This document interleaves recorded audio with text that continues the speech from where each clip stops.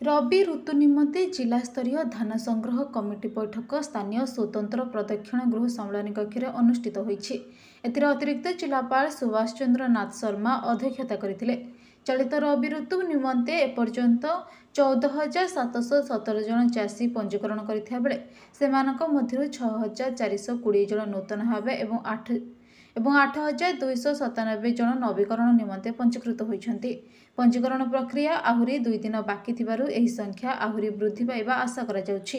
ଗତ ବର୍ଷ ବାର ହଜାର ଆଠଶହ ଷାଠିଏ ଜଣ ଚାଷୀ ପଞ୍ଜୀକରଣ କରିଥିଲେ। ଚାଷୀମାନଙ୍କ ଠାରୁ ଧାନ କିଣିବା ନିମନ୍ତେ ଶହେ ଏକଟି ପ୍ରାଥମିକ ସେବା ସମବାୟ ସମିତି ଓ ଦୁଇଟି ମହିଳା ସ୍ୱୟଂ ସହାୟକ ଗୋଷ୍ଠୀ ସାମିଲ ହେବ। ଗତ ବର୍ଷ ପଇଁତିରିଶ ହଜାର ପାଞ୍ଚଶହ ଛପନ ମେଟ୍ରିକ୍ ଟନ୍ ଧାନ ସଂଗ୍ରହ କରାଯାଇଥିବା ବେଳେ ଚଳିତ ଋତୁରେ ଅଧିକ ସଂଗ୍ରହ ଲକ୍ଷ୍ୟ ରଖାଯାଇଛି। କେବଳ ପଞ୍ଜୀକୃତ ଚାଷୀମାନଙ୍କ ଠାରୁ ଧାନ ସଂଗ୍ରହ କରାଯିବ।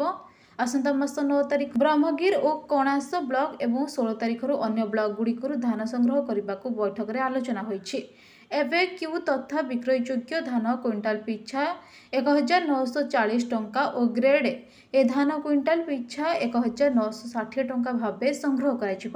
ଧାନ ସଂଗ୍ରହ ନିମନ୍ତେ ବିଭିନ୍ନ ସୋସାଇଟି ଓ ନିୟନ୍ତ୍ରିତ ବଜାର କମିଟିକୁ ଦାୟିତ୍ୱ ଦିଆଯିବା ସହ ନୋଡାଲ ଅଧିକାରୀ ନିଯୁକ୍ତି କରିବାକୁ ଅତିରିକ୍ତ ଜିଲ୍ଲାପାଳ ନାଥ ଶର୍ମା ପରାମର୍ଶ ଦେଇଛନ୍ତି। ସେହିଭଳି ଅଦିନିଆ ବର୍ଷାରୁ ରକ୍ଷା ପାଇବା ପାଇଁ ପଲିଥିନ୍ ବ୍ୟବହାର ନିମନ୍ତେ ଉପଜିଲ୍ଲାପାଳ ଭବତାରଣ ସାହୁ କହିଛନ୍ତି ଧାନ ସଂଗ୍ରହରେ କୌଣସି ସମସ୍ୟା ଥିଲେ ଚାଷୀମାନେ ସେମାନଙ୍କ ପଞ୍ଜୀକୃତ ମୋବାଇଲ ନମ୍ବରରୁ ଟୋଲ୍ ଫ୍ରି ନମ୍ବର ଏକ ନଅ ଛଅ ସାତ ସହ ଯୋଗାଯୋଗ କରିପାରିବେ। ଉକ୍ତ ବୈଠକରେ ଅନ୍ୟମାନଙ୍କ ମଧ୍ୟରେ ଜିଲ୍ଲା ପରିଷଦ ଅଧ୍ୟକ୍ଷା ଶ୍ରୀମତୀ ସ୍ୱପ୍ନାରାଣୀ ସ୍ୱାଇଁ ବିଧାୟକମାନଙ୍କ ପ୍ରତିନିଧି ଜିଲ୍ଲା ଯୋଗାଣ ଅଧିକାରୀ ସୁବୋଧ କୁମାର ହୋତା ପ୍ରାଥମିକ କୃଷି ସମବାୟ ସମିତି ସମ୍ପାଦକ ମିଲର ଚାଷୀ ପ୍ରତିନିଧି ପ୍ରମୁଖ ଉପସ୍ଥିତ ଥିଲେ।